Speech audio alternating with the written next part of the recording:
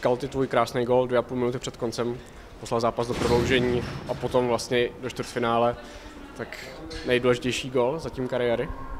Určitě, já vůbec, tyjo, prostě vůbec jsem nevěděla, co mám na začátku dělat, když jsem vlastně tu finku objela,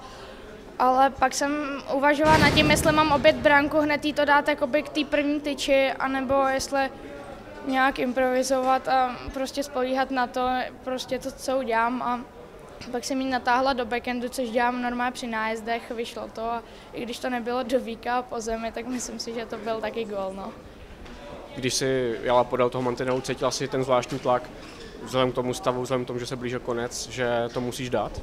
Jo, já jsem takový ten typ hráče, který vlastně se i na tom ledě moc nesoustředí přímo jakoby na tu hru, ale vlastně jakoby uvažuji nad tím, že teď, kdybych jela, dala bych gol, tak bychom třeba postoupili, nebo pak zároveň, když jedu blokovat střelu, tak se snažím jakoby to fakt zblokovat, protože vím, že by, kdyby to prošlo, tak by to mohlo hodně ublížit týmu. A takhle byl to velký tlak, fanoušci řvali prostě, jenom jsem slyšela vlastně, jak zesílila ten hlas, když jsem vzala ten puk a jela jsem, objela jsem tu finku a pak už to bylo vlastně jenom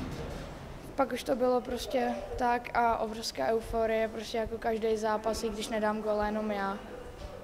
Co vůbec může říct k tomu zápasu, jak se vyvíjel, protože to zase bylo, eh, vedli jste, prohrávali jste? Hrozně odmakaný zápas z naší strany určitě, protože teďka naopak vlastně ty naše ty naše vstupy nebyly úplně nejlepší, ale tenhle ten zápas jsme se vlastně zvedli a už od, od začátku jsme se fakt jakože soustředili přímo na ten vstup a aby jsme to pak hráli a vyhráli bychom to ale hlavně jsme se soustředili vlastně na ten začátek, no, který se nám dost poved a myslím si, že jsme pak vlastně celý ten zápas šli a pořád jsme jenom zvyšovali to tempo, i když tam byly takové horší chvilky, ale pak jsme se zase uklidnili, hráli jsme svůj hokej a pak už to šlo líp. Jaká to potom byla euforie, když Magda dala gol v prodloužení? Byl to určitě parádní gol a myslím si, že vlastně ta euforie je pořád stejná. Jak už jsem říkala, i když dá gol ta nebo ta, tak je to fakt jedno, protože jsme tady jako tým a jako celek a vlastně ta euforie po té výhře, že jdeme vlastně do čtvrtfinále, byla obrovská a myslím si, že i Magda si to dost užila, já jsem si to taky užila, když jsem dala gol. Teda vás teďka čeká čtvrtfinále, v téhle chvíli ještě soupeře neznáte, nicméně myslíš si, že si dokážete přenést třeba ten dnešní výkon, že tady to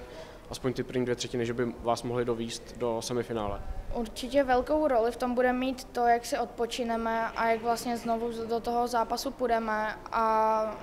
myslím si, že když dobře zrelaxujeme takže to, takže to půjde. Zkusíme ještě domluvit náš manažer, třeba jakože studený bazén, aby jsme se uvolnili ty naše svaly, aby jsme zítra do toho mohli vlítnout na 150% a dokázat to, co všichni chceme a to, co všichni po nás chtějí, jako by to třetí místo. No.